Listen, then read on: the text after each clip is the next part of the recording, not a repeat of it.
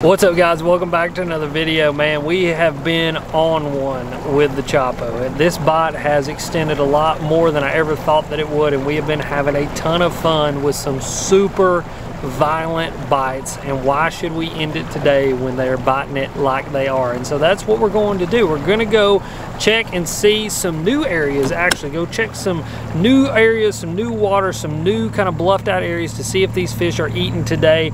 And then we also might go check a little bit of frog fishing stuff as well once we get later on into the afternoon and evening and those mats have warmed up all day long because those fish should be in them and they should be eating. But we're out after it again today. We're gonna go see if we can get some just more of these gnarly blowups that we've been getting. Hopefully you guys have been enjoying them. I mean, I know one thing, if they're eating a top water, why would I throw anything else? So yeah, that's what we're doing today. I'm so glad that you guys clicked on this video. And without further ado, I'm gonna shut up. We're gonna get fishing.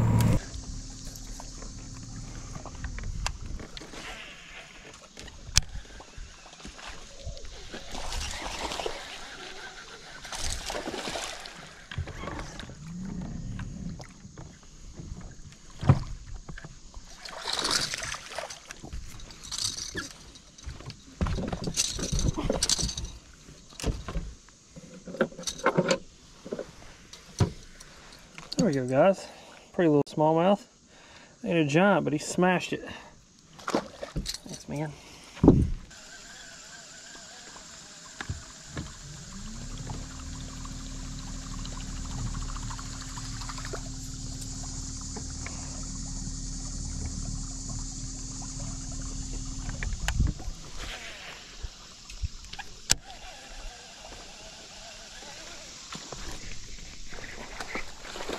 A big one.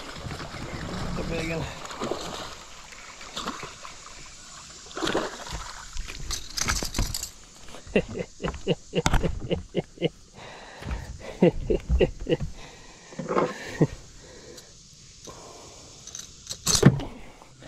Man, that's an awesome bite. It's a good fish too. He is pissed. Hell yeah.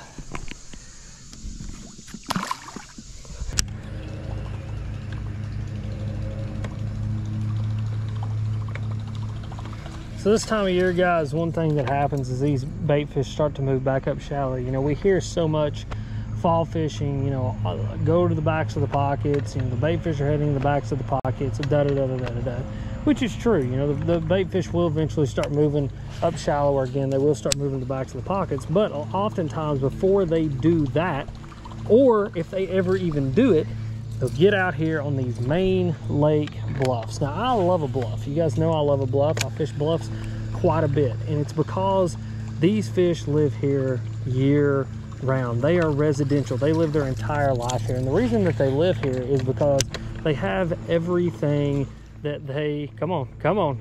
They have everything that they need here. They've got food, they've got access to deep water, they've got access to oxygenated water, they've got access to warm water, cool water, they've got access to shallow water, they've got access to deep water. I mean, essentially a bluff is like the ultimate apartment for a bass because no matter what happens, if the water's high, if the water's low, if it's cold, if it's warm, if it storms, if it doesn't, if it rains, if it doesn't, if the sun's shining and if it isn't, these fish have somewhere to go and they don't have to move very far to do it because they are lazy. That's just plain and simple. Fish are lazy, lazy, lazy. They are ambush predators. They take advantage of food coming to them. And even when they're hunting food, like when they're in wolf packs, they don't want to move very far. And so a bluff gives them abilities to do that. And so you, like I said, oftentimes you will hear, oh, you got to go to the backs of the pockets because that's where the bait fish are heading. Most of the bait fish on these lakes, in my experience, my life living and fishing lakes like I fish with tons of bait fish in them, these bait fish will never go to the backs of the pockets. They live out here just like the bass live out here. The bluegill are the same. They live out here just like the bass live out here. Crawdads are the same. They live out here just like the bass live out here because just like the bass, the bait fish, the bluegills, the crawdads, the perch, the crappie, the walleye, the muskies have everything that they need on these bluffs, on these areas where they don't have to move around a whole lot and where they can either be deep or shallow. They can eat when they want to, they can get in the shade when they want to, they have everything that they need and live right here their entire lives. And so just keep that in mind. You know, I talked about that in a video I put a couple weeks out, uh, back a couple weeks, about top baits for September. I talked about look for those condensed contour lines on the maps on your bodies of water that you're fishing. And if you do, that's going to be those more bluffed out areas. That's going to be those areas that have access to deeper water. I mean, like right now, my boat's in 15 feet. Um, and then if I were to go literally five feet more that direction, I could be in 25 feet. And so you guys can see a fish doesn't have to move very far to get in deep water. Neither does it have to move very far to get back up in shallow water. So it's just thoughts, thoughts from Alex Rudd, thoughts from my fishing experience and, and things that I have noticed over my fishing life that puts fish in the boat. And bluffs, year in, year out, year round, put fish in the boat.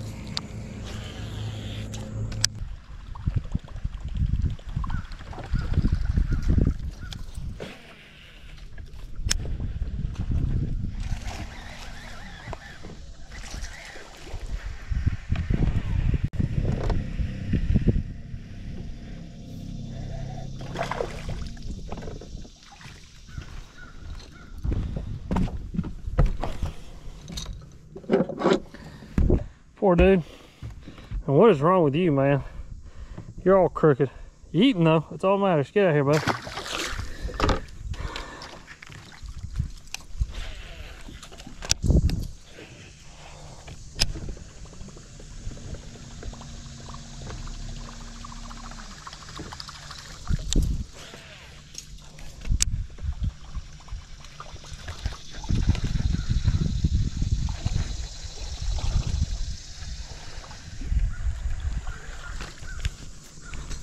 Heck yeah.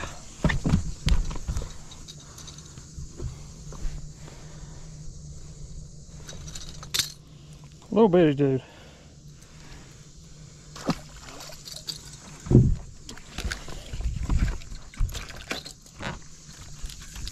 So another thing to think about guys is this time of year as we start to transition into the fall, the bite windows start to expand. And so what I mean by that is, you know, all summer long we've been fishing bite windows. You know, early in the morning, late in the evening, throughout the night, we have been trying to focus on these certain time periods that bass seem to eat better than others. And that's because they definitely do exist. When the water is extremely hot in the summer, bass are gonna eat more oftentimes when the water is cooler and the water is cooler early in the morning, later in the evening, and all night long. And so that's why we fish during those times. It's the same thing in the dead of winter. You know, there are these time periods in which the fish seem to eat better. Normally that's later in the afternoon when the water has warmed up the warmest it's going to get and those fish's metabolism is moving as much as it can. It's a bite window.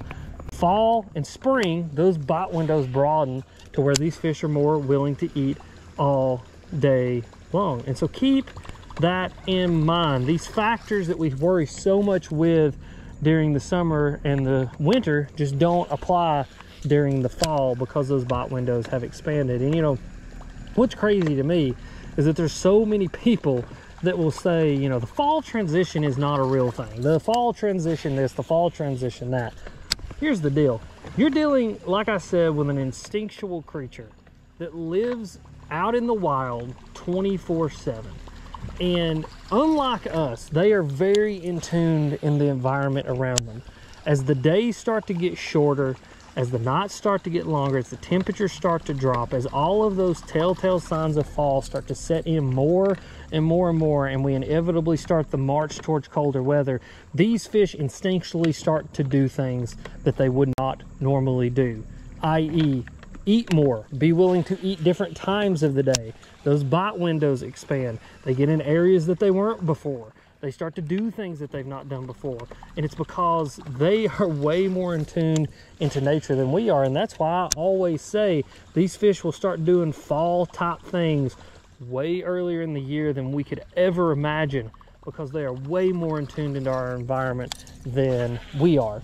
And just like a deer. I mean, a deer is the same thing. It's a much more complex animal than a bass, but still, you guys that are hunters, you know that deer will start doing things to prepare for the fall and start getting ready for the fall way before we ever can realize it because we live in an air conditioned world, an air conditioned life.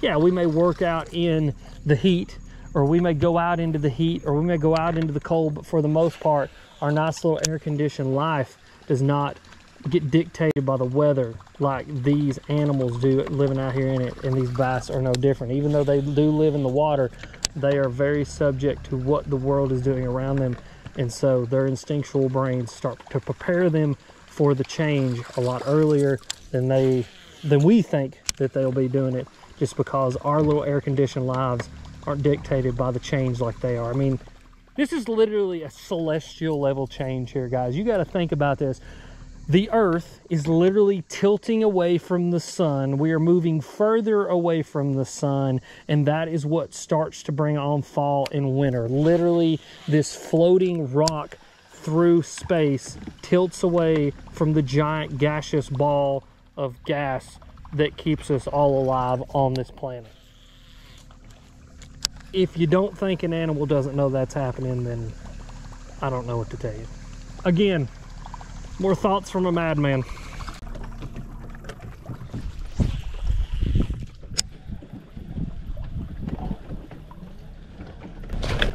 Golly.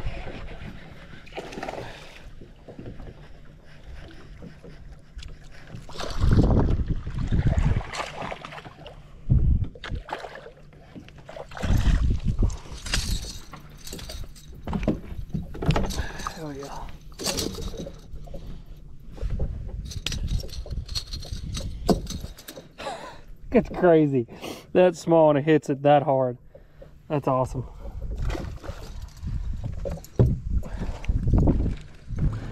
You know, guys, another thing to consider when you're fishing this style of fishing, and as we go into the fall, when we start dealing with all of these bait fish that come up shallow, you gotta have to do something to stand out in the crowd. I think when you have literally millions of bait fish up shallow, all swimming around, it's hard to convince a bass, again, a creature that instinctually lives, that lives on nothing but its instincts. I think it's hard time hard sometimes to convince them to eat a fake thing when they're surrounded by the real thing. I mean, it's just like a bunch of fat people standing at McDonald's. You throw a plastic hamburger in there, they're not going to want the plastic hamburger. They're going to want the real hamburger, especially when there's hundreds of those hamburgers coming out that McDonald's window as fast as they can make them. And I think it's the same thing when these bait fish get up shallow in the fall. And that's why I just don't spend a ton of time like milking an area in the fall. Um, and when we start going into the transition of the fall, I mean, I just move and groove. I go, go, go, go, go. I just keep on fishing. And it's because I am trying to get the dumb ones to react. I'm trying to get the ones that are willing to react to react. And I'm also loud, intrusive. I'm throwing something big and gaudy with this Choppo, with a slobber knocker, with a spinner bait, with a cane walker, with a big loud crankbait, whatever it may be. I'm just trying to be loud and I'm trying to be gaudy so that I can stand out not only in the thousands, if not millions of bait fish that are up shallow, but also just get that fish to react. I don't want them to have a, a, a, second to analyze it. I don't want their little instinctual brain to go, eh, it may not be safe for us to eat. I just want them to go straight trigger, total instinct, and go kill, kill, kill, kill, kill. And I think when you throw something like a Choppo, like I said, like a slobber knocker, when you bring it past their face really fast, you don't give them any chance to really assess what it is and let their instincts have a moment to try to figure out what it is, that it hits more of that just kill, kill, kill, kill instinct.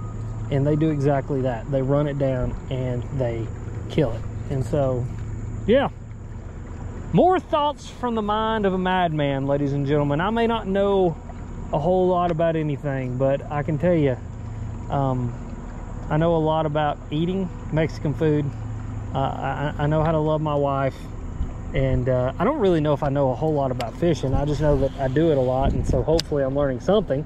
I feel like as soon as I learn something, that uh, I need to learn something else, and so hopefully I'm helping you guys learn. That's all I'm doing here. I literally I get on the internet and I give away this information for free so that hopefully you guys can go out and catch some fish and have some fun and just experience something different out on the water. So,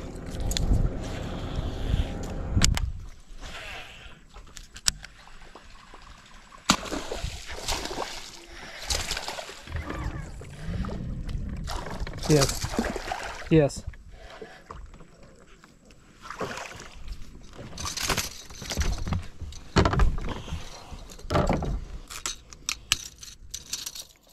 All right. Another solid little smallie. Beautiful. Thanks, buddy. Bit my dead Jim finger. That's awesome.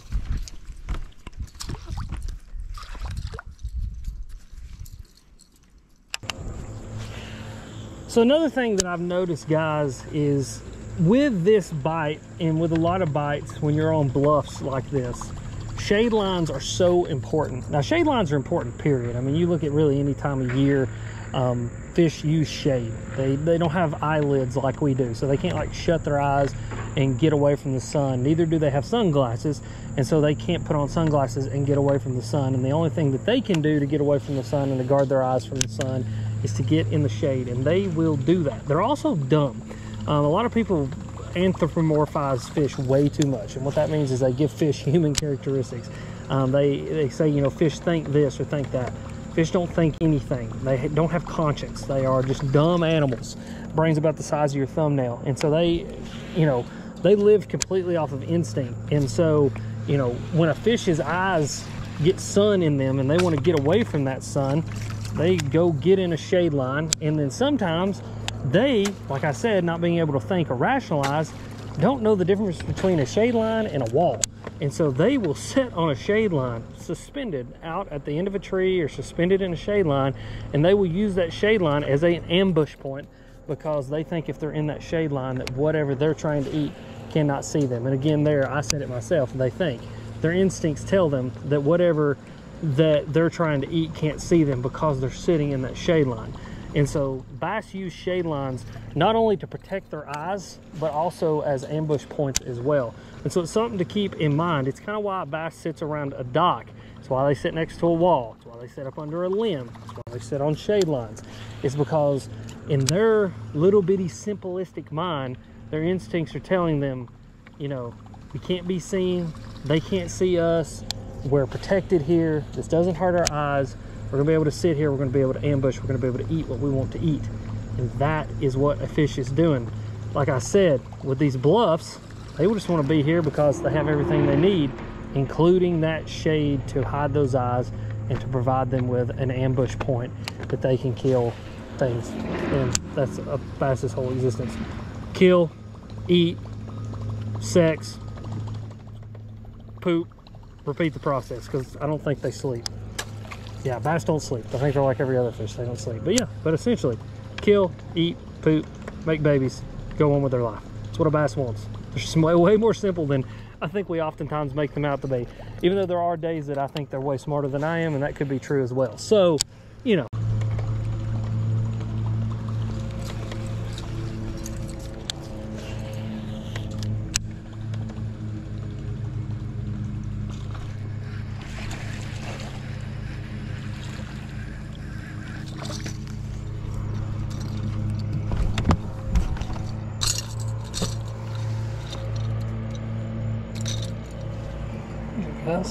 another one. Thanks, bud. Nice little fish. That was, that was a good bite. I figured there'd be one on that tree right there. Well, boys and girls, we gave it hell today. Went and caught some fish, got some amazing blubs, some violent blubs, the kind that I like, and it has been a good day to say the least. But it is late in the evening. It is six o'clock. This is the latest I've fished in a while, and it's just because it's been so hot, but it's so nice to know that fall is on the way and that those telltale signs are just marching forward towards what is the inevitability of cool weather, hoodies, chilly, fall time, leaves, just all the stuff that I love. And I love you guys, I really do. I appreciate you clicking on this video. You guys are amazing and I appreciate every time that you click on a video and that you watch it. So, as always, you guys are sweet. Thank you for watching.